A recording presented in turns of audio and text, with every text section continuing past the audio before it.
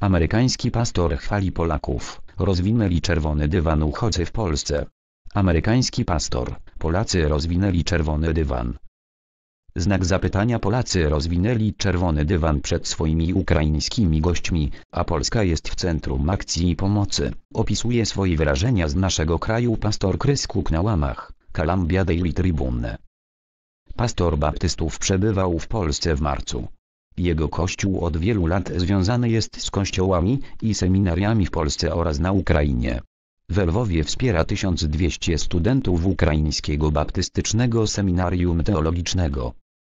To było bardzo ubogacające doświadczenie, relacjonuje Cook, który odwiedził przejście graniczne pod hełmem, gdy około północy przechodziła przez nie grupa Ukraińców z walizkami.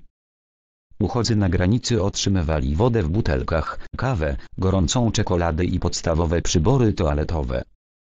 Uchodzy w kościele w hełmie według pastora, Polacy rozwinęli czerwony dywan przed swoimi ukraińskimi gośćmi, robili świetną robotę i okazywali wiele gościnności. Cook wspomina, że kościół w hełmie był niemal za duży dla wiernych, którzy brali udział we mszy, ale zapewnił miejsce dla dziesiątek uchodźców. Rozmowa z Ukrainką. Pastorowi pękło serce przypomniał też kilka pamiętnych i wzruszających spotkań z ukraińskimi uchodźcami. Spotkał się innymi z młodą Ukrainką, która wyjechała do Polski bez rodziców.